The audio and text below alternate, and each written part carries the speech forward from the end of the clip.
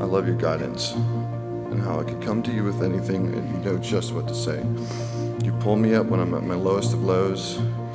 You shine a light on me when I'm in the dark. You give me strength to do what's best for myself. And when I feel battered and broken, you make me feel whole again. And so, because of you, I've seen perfection in this life. Because of you, I see a much happier and brighter future in the horizon. Because of you, I, I want to be a better man.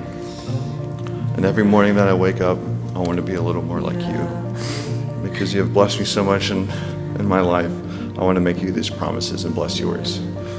I promise to always make you laugh and smile and to never go to bed angry. I promise to comfort you in times of sorrow and pick you up when all seems far gone. I promise to always listen to what you have to say, even when we don't agree, and to remember always say I think differently instead of you're wrong. and I promise there will never be a day where you feel alone or on your own. I promise what's mine is, is yours, except for my Xbox. you can have that one.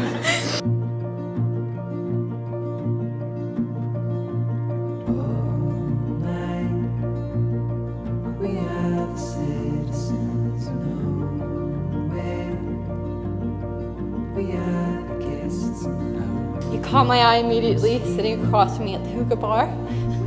I remember it, remember it very clearly because you were so distracted that night, and I wished that I would meet you again.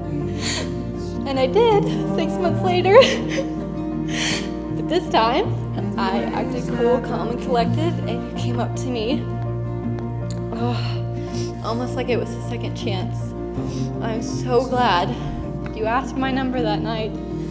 It's literally one of my favorite memories. Oh.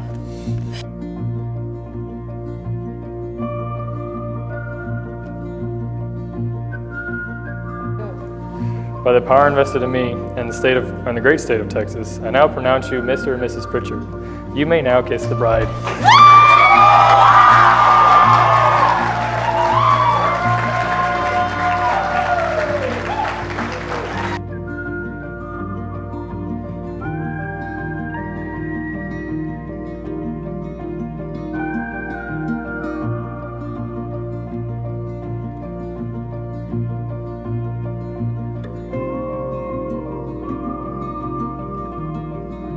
Driving and driver license.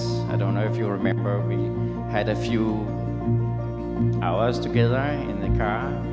There was a lot of yelling and screaming, mostly me saying, stop, stop, stop, stop, stop, or something like that. well, and we were, your mom and I was of course a little bit worried uh, about you going out and driving. But then we concluded, how bad can it go? It's, it's Sophie, she's a responsible young woman. Well, let me introduce you for the car breaker of this family.